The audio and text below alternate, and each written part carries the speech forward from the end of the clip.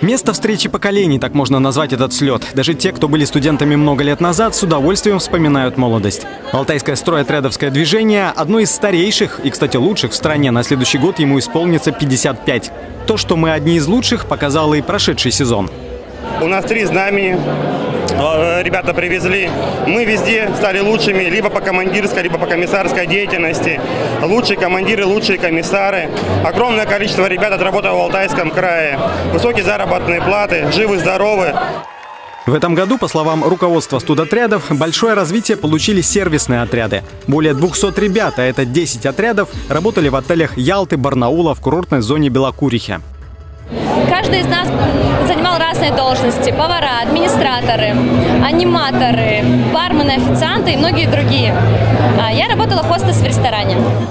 В штабе студотрядов заверили, это перспективное направление будут развивать и дальше, а на следующий год для него даже появится собственное знамя.